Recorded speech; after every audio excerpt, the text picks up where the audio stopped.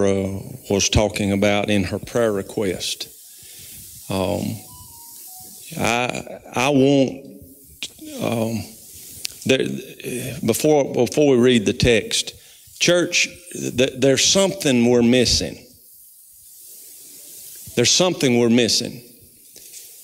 There's something we're missing uh, when it comes to people that are suffering uh, with um, a spirit of suicide uh, or a, a, a, spirit of sorrow. Um, we're, we're not, we're, something's not, uh, forgive me, forgive my vernacular, something's not jiving. Because people are still dealing with this.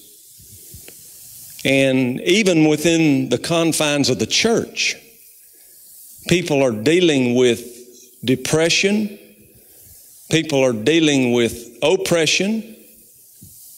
Um, and I believe the Lord wants us to have discernment, yes. But I believe the Lord is calling for a people that'll stand up in the authority in which they have been placed in the finished work of Christ. I mean, and not in pride and not in being a show, show off and not in, you know, to be seen, hey, you need to go let this man or this woman pray for you to lift up. Because see, God always, when that happens, God, God has to tear it down. Because no flesh will glory in the sight of the Lord. But on the other hand, I believe that the Bible, the Bible is replete with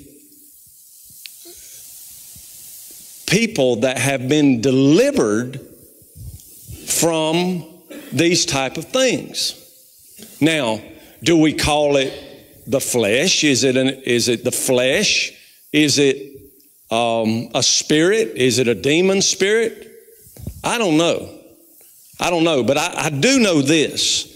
I do know this that the scripture, the scripture bears out that there's all kinds of spirits in the Word of God.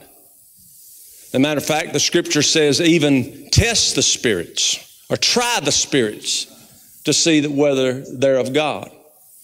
And as I was meditating on that, and I was meditating on things in my own life.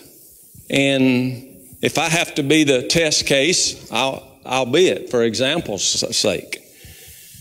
But this, uh, this spirit of, of, it just seems like there's a spirit of heaviness. And then as I began to, I began to, to think about that, the spirit of heaviness, I said, hey, that's in the Bible. And look at Isaiah chapter number 61. In this um, great prophecy of the Old Testament uh, concerning the advents or the coming, as a matter of fact, in from a prophecy aspect, it covers the first and the second coming. But I want us to look uh, in the first four verses here. The Bible says in Isaiah chapter 61, many of you have heard this and read this uh, down through the years. And, and before we read it, I also want you to remember, remember that in Luke chapter 4, the Lord started his ministry by standing up in the synagogue and, and actually reading or quoting what he wrote 700 years earlier. So listen to what the Lord said. This is Jesus. This is Jesus speaking. Jesus said, The Spirit of the Lord God is upon me well, you could stop right there. You could run around the block a couple times right there. See, I, I don't want to get ahead of myself, but if you're in Christ, the Spirit of the Lord is on you. Now, you may not acknowledge it, you may not even want it. But if you're in Christ, the Spirit of the Lord is on you. And not only on you, the Spirit of the Lord is in you. The Spirit of the Lord God is upon me because the Lord hath anointed me to preach good tidings unto the meek. He has sent me to bind up the brokenhearted, to proclaim liberty to the captives and the opening of the prison to them that are bound. Verse 2, he said, to proclaim the acceptable year of the Lord and the day of vengeance of our God, to comfort all that mourn, to appoint unto them that mourn in Zion.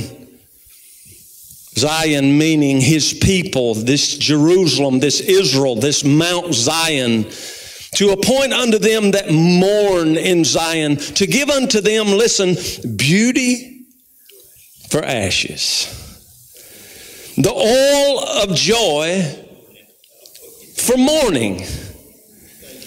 And here it is the garment of praise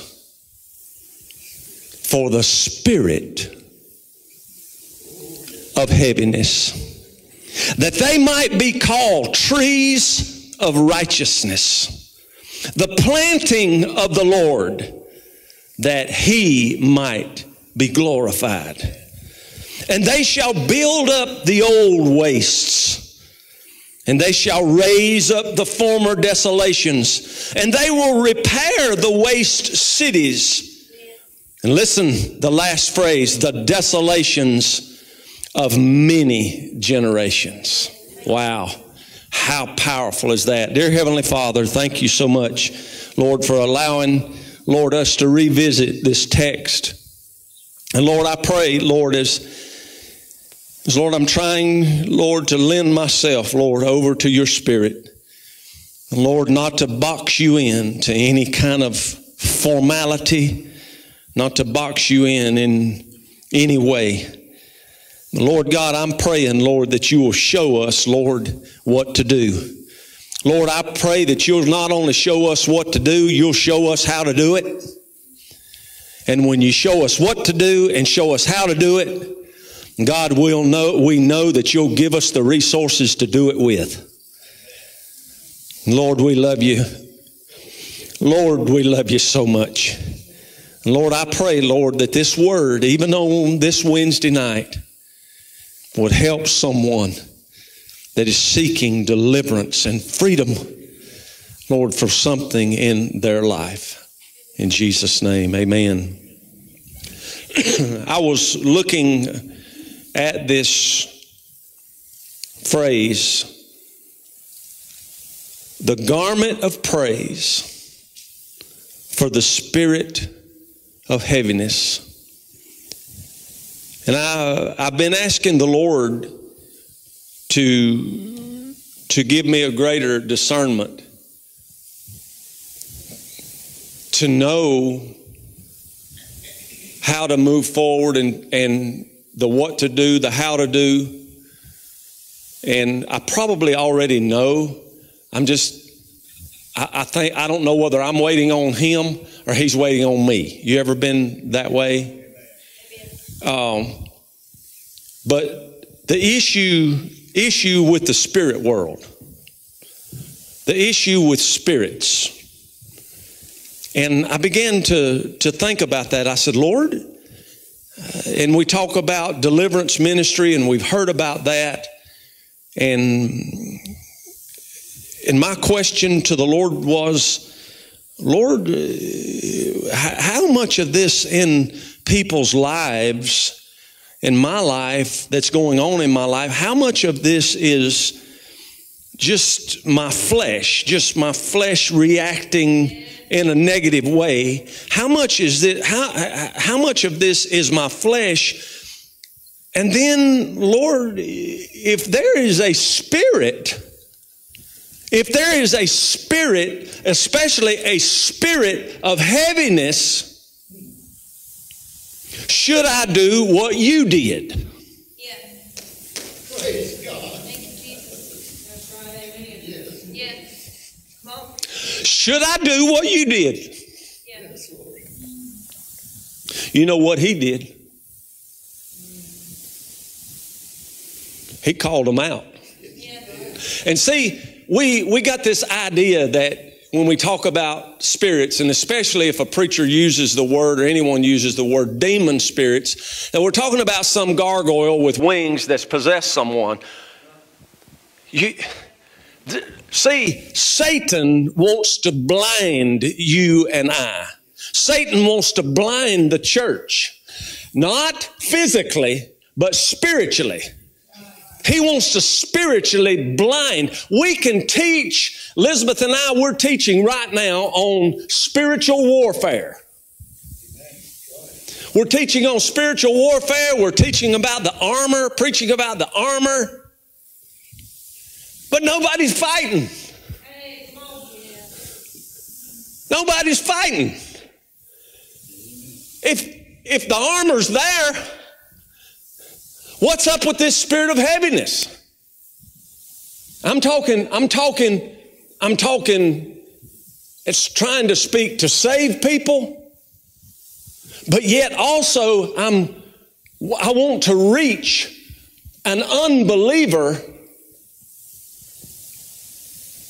that is willing to lend themselves to, to, to the Lord for, for the sake of being rescued.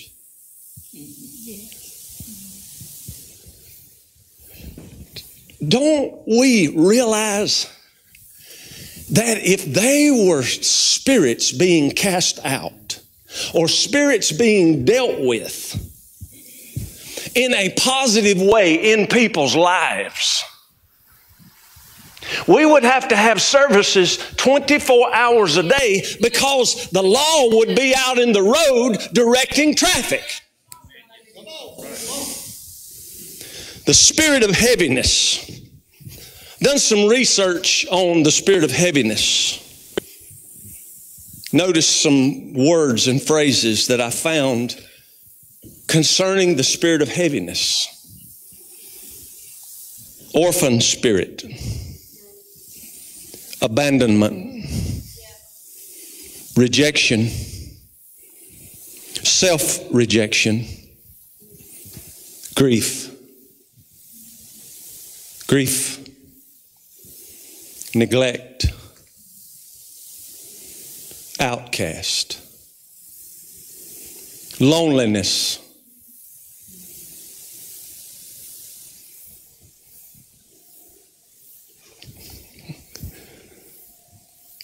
Isolation,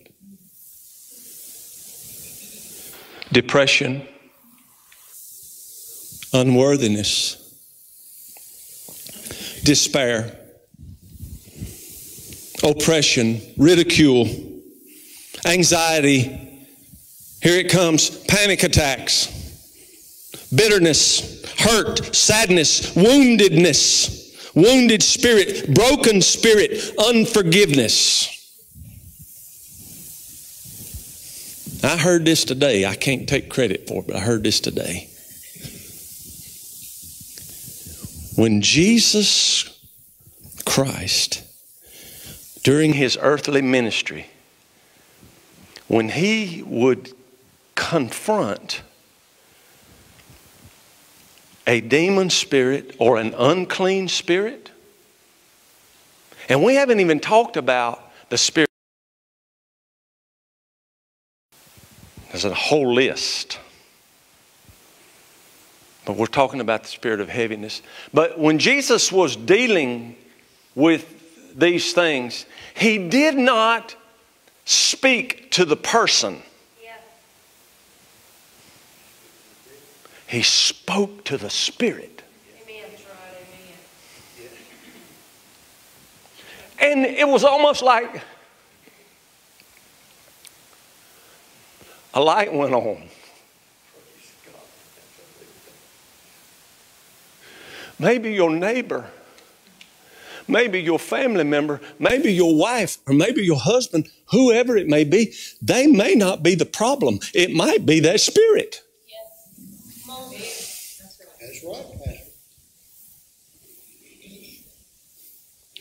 Do you did that did that sink in?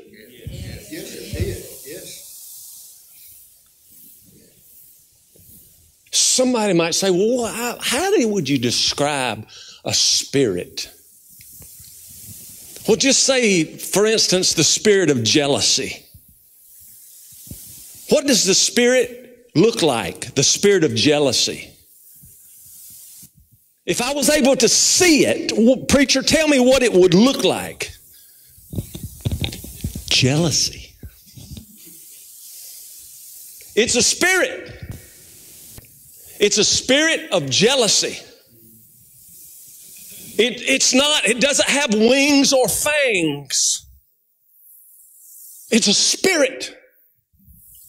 And Jesus said, the spirit of the Lord is upon me. Why? Why, Lord? Why was the Spirit of the Lord upon you while you were here walking for those 33 and a half years? Why? For the Spirit of the Lord, the Spirit of the Lord God is upon me because the Lord hath anointed me, hath anointed me with the Spirit, the Spirit of God to preach deliverance unto the captives, to set at liberty them that are bound, to open up the prisons to those that are bound. Now, we can all get jacked up over that, and we can leave out, and boy, that's a good message. But I tell you what, if you got problems in your family, and hey, I'm, I'm wondering about this thing. I'm wondering about I'm wondering about this, this, this spirit of heaviness as this spirit of, of, of disappointment. Maybe, maybe someone has disappointed me. And I'm, I'm I ha, they, they haven't lived up. They haven't lived up to my expectations. So I have a spirit that has gripped my life, the spirit of disappointment. So I am walking down around with this, this, this spirit of disappointment. What about a spirit of rage? Huh? What does that look like? Don't you tell me that something's not going on in this society.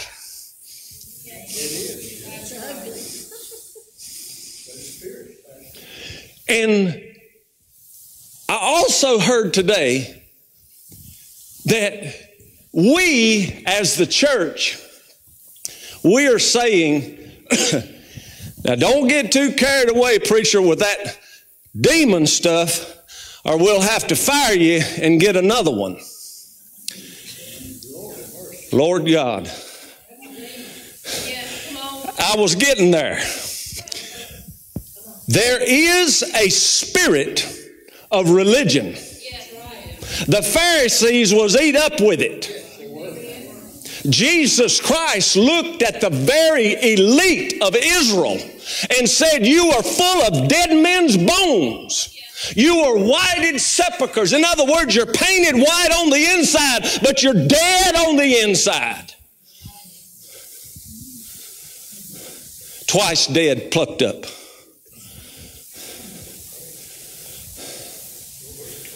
The Spirit.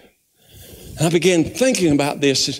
And, and, and, and, and the scripture comes to my mind for the weapons of our warfare are not carnal, but they're mighty. And we quote it and we say it over and over and over and we clap over it. But when are you going to say that's enough? Yes, right. Come on, yes. Yes, we need to do that.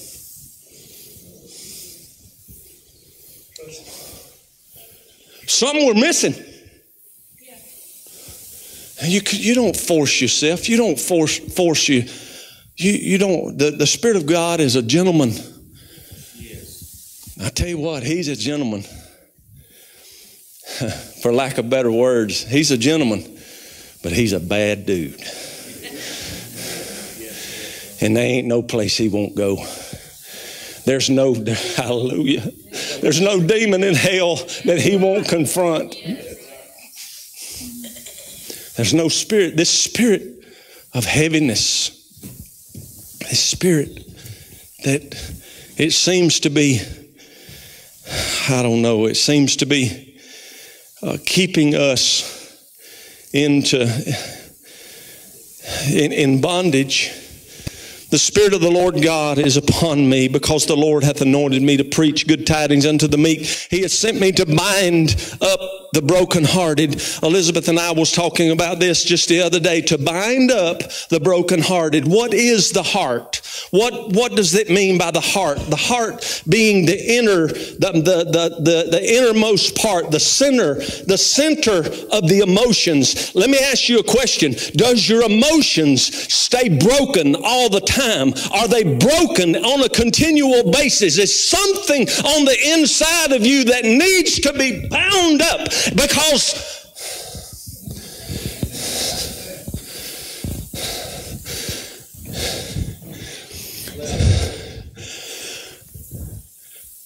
we as the church I know, I know what some of you thinking.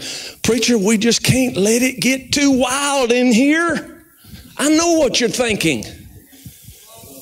Don't let it get too out of hand in here. But the Holy Ghost of God will keep the foul spirits in check if they try to come in here.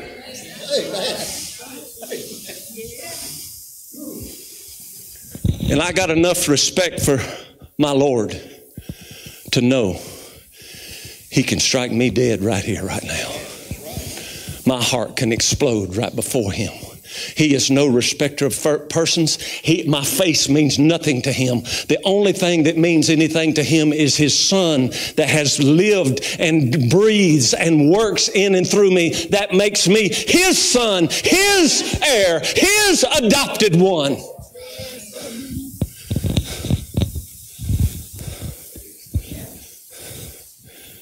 There's more.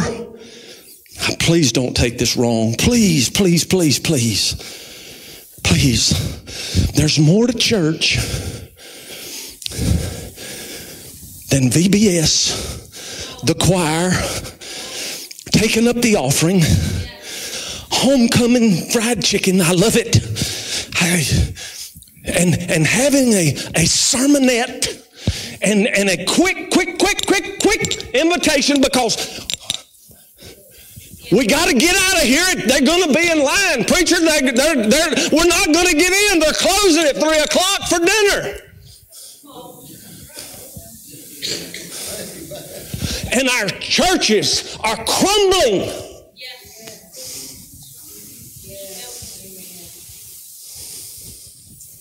Crumbling. Whatever we're missing, whatever it is, and you're going you're going to show me because you've shown me too much. You've shown me too much. I, mm, as for me and my house, we're going to serve the Lord. I'm not serving.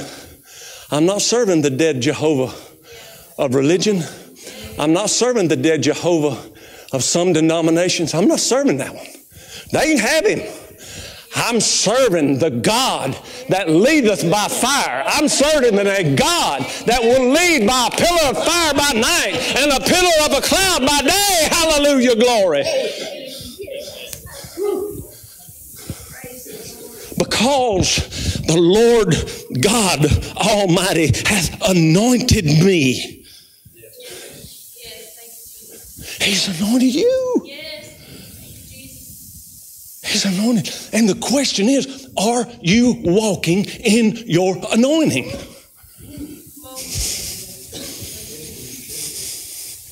What's that mean, preacher? Are, do you number one, do you believe it? That's why most people don't walk in it because they don't believe it. Either they don't believe it or they're scared of it. That's another spirit. For God hath not given us the spirit of fear. What does the spirit of fear look like, preacher? Does he have a black mask on and fangs and red blood going down his back? No. What's he look like? He looks like fear. Spirit of fear. I started to say this till Sunday, but it was Christmas and everything. Praise the Lord. The, he hath sent me to bind up.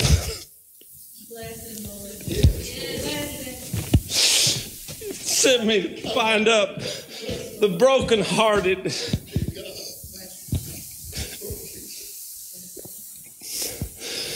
To proclaim liberty to the captives.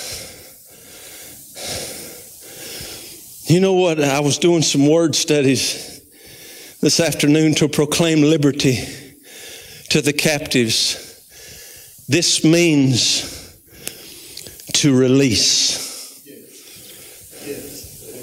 Release. If you're captive, that's why he came. Whatever it is, whatever it is that you're captivated by. Right now, we're just dealing with the spirit of heaviness. But if we want to, if we want to go on out a little fur- further, let's let's really get out into left field. How about the spirit of pharmakeia? Huh? What's that? What's that, preacher? What's that? That's drug addiction. It's a spirit. And we do not war after the flesh. We war after the spirit. And it is the Spirit of God. It's not my spirit, for though no good thing dwelleth in me. I am vile, as Job said, but the power of God that liveth and resteth in me. Oh. God's going to find the people. He's going to find them. He's done found them. They just don't know it yet. They don't know it yet. They, he, he's found the people that, that, that, that, that will say, Look, I'm not trying to hurt your feelings, but you got a spirit of jealousy. You, you, and see, what you you've got a spirit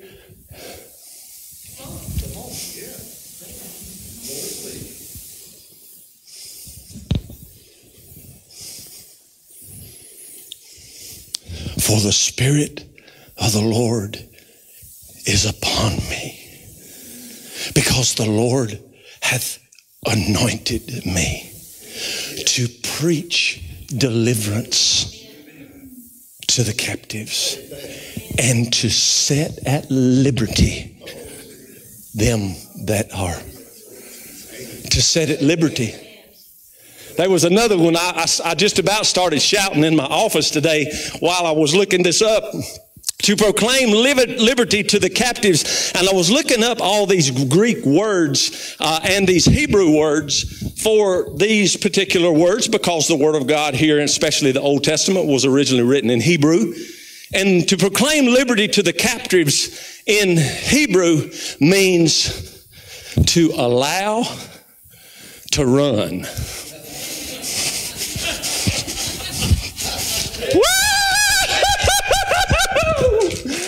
To allow to run, run, run, no longer, no longer held captive by anything.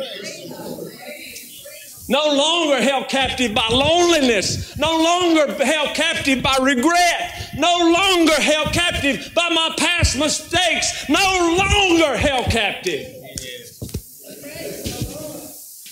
See, the Lord is the deliverer. He's not a man. But he's it's not a man or a woman. But he sure would like to use a man or a woman. He said, if you'll make yourself available. He said, what? Just put yourself, Jeff, just put yourself on the potter's wheel. Put yourself on the potter's wheel because I'm going to have to mold you. I'm going to have to I'm going to have to get some of them things, them old hard, dried up, calloused, especially some of that old religious bondage that's dried and caked on the side of your vessel. I'm going to have to break you once again, and I'm going to have to put you back on the potter's wheel so I can make you a vessel of honor, a vessel that I can use. A vessel that I can use, not for your glory, but for His glory. Praise God. Praise the Lord. Well, just the first verse or so. And the opening, and the opening of the prison to them that are bound. The opening, that word means to liberate. Say, Miss Barbara, don't you know that old boy? Wants liberated. He didn't ask for it. And he sure ain't enjoying it. I know I've run out of time. But when a person when a person gets to the place that they want to take their life and they see pointing a gun to the side of their head or putting a pistol in their mouth. That's got to be a spirit, the spirit of heaviness, some shape or form. That spirit it is so heavy. It's so heavy, Brother Jeff. It's so heavy, preacher. I've tried. I've tried to come to church. I went to Sunday school 27 Sundays in a row, but the spirit of heaviness, I just don't know what I'm going to do. And if anybody ever says that, if anybody ever says, Well, I tried church, that's the church's fault. The church there's some church folks going to have blood on their hands. You need to try harder, son. Just come on, come on and sign up for the disciple class. We'll show you, we'll show you how to live. And we're going home fussing at our wives, fussing at our husbands, living like the devil, and we're going to go back and try to teach a discipleship class when we've got a spirit in our own life.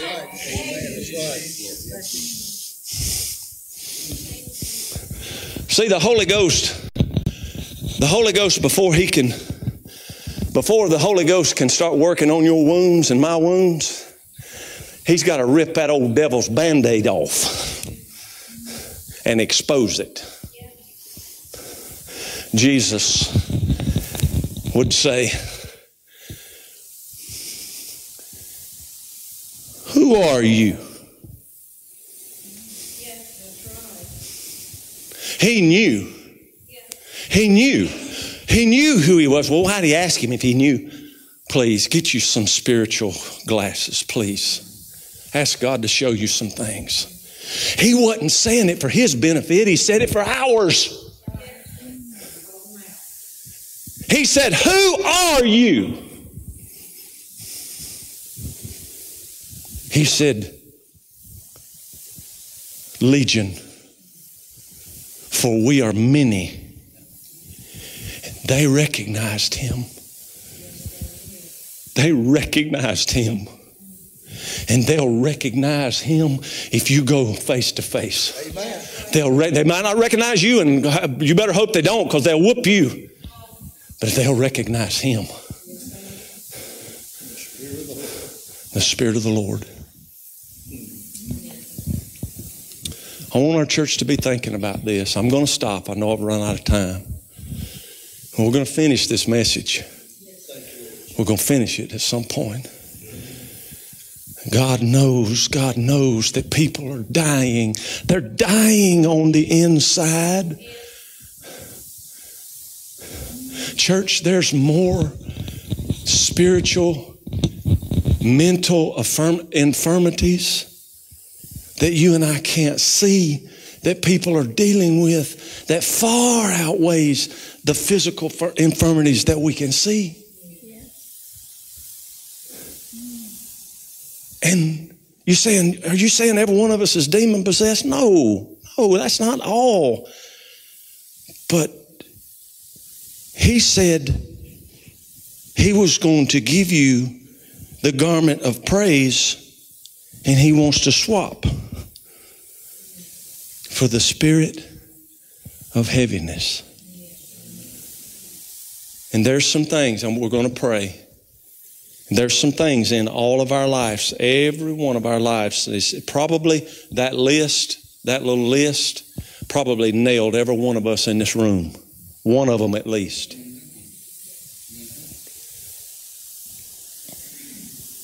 Jesus said, that don't have to, that don't have to.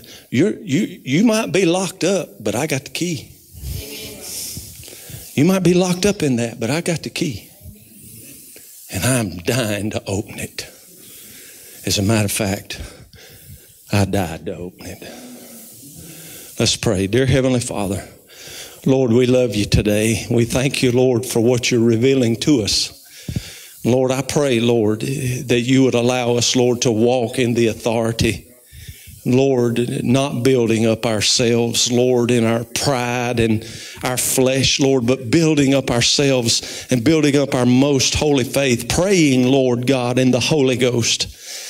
Lord, I pray, Lord, that in the days ahead, Lord, that this church truly becomes a hospital for the broken, for the broken in spirit and the broken of heart and the broken and the heaviness and those that are captive. And Lord, please reveal your will for us. Lord, I know that it is your will that people that people be delivered and people that, that the captives are set free. And Father God, I pray that you would forgive me, Lord, for all of the times, Lord, that I have quenched your spirit because worried about what somebody would say or what, what somebody might think or what they'd get on the telephone and call somebody and say what happened in church today. God, forgive me. Forgive me, O oh Lord. I do not want no blood on my hands. And Lord God, I pray, Lord, that you would deal with the hearts, Lord, here at this church and to give us the confidence to know that, Lord, you have defeated all spirits, any unclean spirit, anything that would exalt itself, anything that would exalt itself above the knowledge of, of the Word of God, anything that would try to exalt itself, Lord, above you. Lord, we are your creation, Lord, created in Christ Jesus. It is no longer I, but you that lives in us. And Lord, I pray, Lord, that you'll continue, Lord, to open these doors and you'll give Spirit of Life Church a true spirit of wisdom and a spirit of understanding. All of these things that the Spirit of God gives. Lord, give us this spirit of power. Give us the spirit of love. Give us the spirit of a sound mind. Lord, give us those things, Lord, that Satan would try to rob from us and kill, steal, and destroy. Lord, let us, by the, the authority of the Holy Ghost of God, let us take back what the devil has stole from us. Lord God, do a work in this church and do a work in every church in this area, every church around the world. Lord God, help us, Lord God, to be soldiers of the cross and Lord, to keep our faith, Lord, fluidly, Lord, in you and your finished work. And not only to have faith, Lord, but put feet on our faith that we could walk in the authority of the death, burial, and resurrection of our risen Lord. Lord, bless, Lord, the people tonight. Lord, may they rest good. May they sleep good. Lord, in the name of Jesus, I rebuke any foul spirit that would rob somebody of their sleep tonight. In the name of Jesus, I rebuke that foul spirit that would try to, to, to cause us to have anxiety to the fact that there's so many things running loose in our minds that we cannot sleep. Lord, I rebuke that spirit in the name of Jesus. Lord God, I'm expecting to sleep tonight like a baby. Lord, thank you, Jesus, for your mercy. Lord, bless us. And all God's people said, Amen, amen. Thank you so much. You're dismissed.